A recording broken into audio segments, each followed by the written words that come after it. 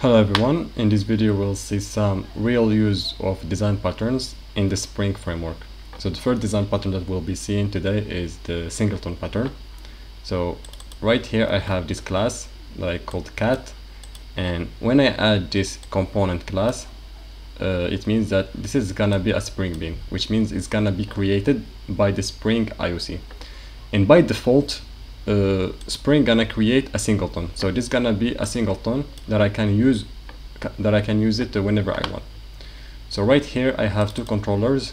Uh, first controller use the cat uh, by using auto So we will inject in the instance that was created by the IOC.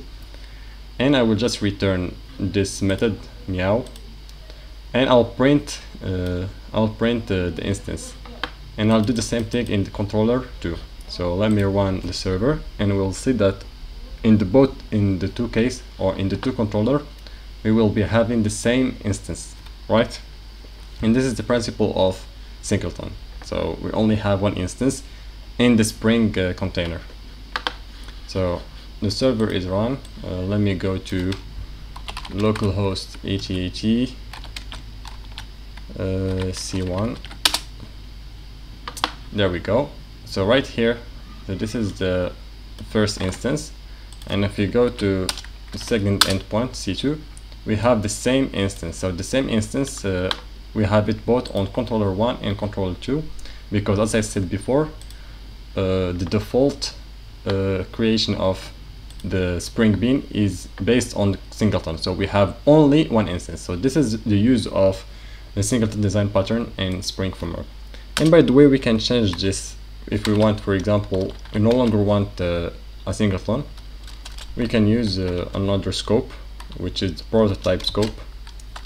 So by the way, uh, what we mean by prototype, it means that we will have a new instances whenever we are using this cat uh, class.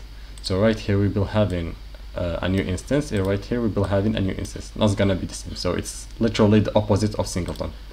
So let me stop and rerun the server, and we will check this.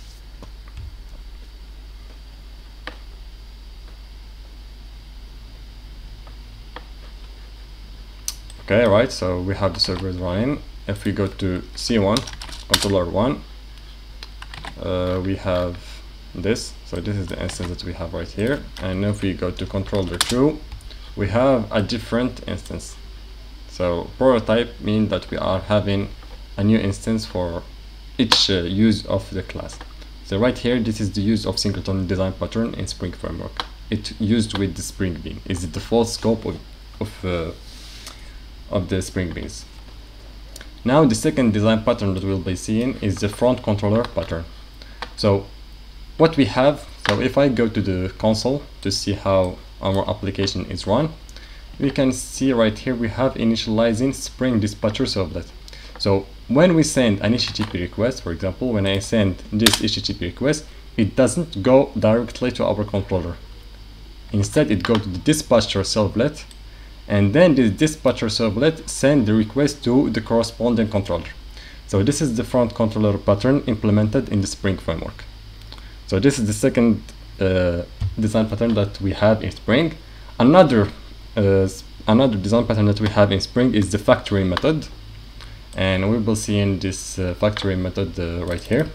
So I'll just comment I no longer want the server to be one, but this time I'll have the application context. And if you guys knows about application context, is simply the container of all the beans. So when whenever I create a new bean, for example, when I create this, let me just remove this scope. I want it to be a singleton. So whenever I create a new Spring Bean, the instance is put in this context. So this is the context and I can get any beans. So I can use a method called getBean to get all uh, the beans that were created by the Spring IOC. And if we go to application context, we can see that application context extends listable bean factory and this listable bean factory extends bean factory. So this is the factory and right here we see the implementation of the uh, factory method design pattern. We have this get bean uh, method that simply return uh, what we ask for, which is the bean. We want the instance to be returned to us. So right here, I can just, for example, use application context get bean, and I give it the class. For example, I want the instance that was created uh, right here in this cat by using this component annotation, and I'll use the meow uh, method. So if I run, it should uh, return meow in the console, in the console because I print the return in the console. So let me see. There we go. So right here we have meow. And by the way, we can do the same thing for all the spring bean that we have. For example, I have another spring bean right here, this dog uh, spring bean that I add these components, it's a spring bean.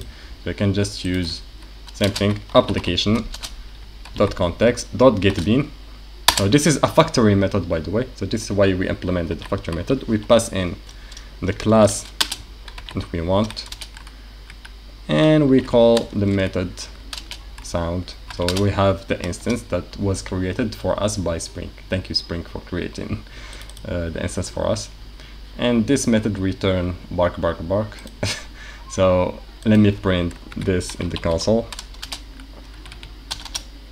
We'll be barking in the console and let me execute and it should return meow and bark bark bark.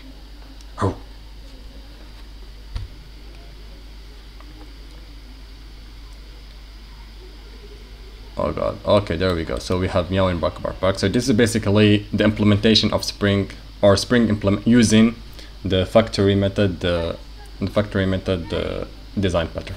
Great.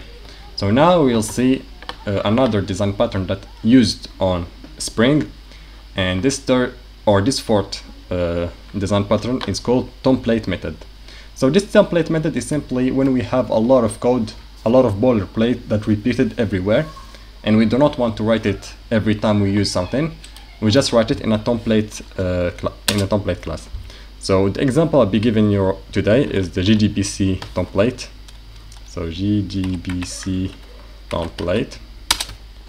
There we go. So if we go to the code of this JDBC template, we will find in a lot of boilerplate that uh, we use it to basically create a JDBC connection. So we want when we want to do a connection be between a Java application and, uh, for example, a MySQL uh, database, we do a lot of boilerplate. For example, we get the connection, we we establish connection, and we close it at the end. So this is a lot of boilerplate. So instead of uh, each time writing the same code, we just put it in a template class and that's it. This is simply the implementation of the template design pattern in Java, in Spring specifically. But it's a little bit different that the definition of template method, but uh, at the end uh, it's the same uh, concept that we no longer want a lot of boilerplate in our application. Instead we put it on a template class. And that's it, the four uh, design pattern that are used in Spring. I think, I believe there are other uh, design pattern that I use Spring, but this is the four that I'll talk about in this video. The singleton, front controller, factory method, and template. And just a warning, there is slight difference than the exact definition of this design pattern in books, for example, and the Spring uh, implementation of them. But overall, it's uh, basically the same. So thank you for watching and bye.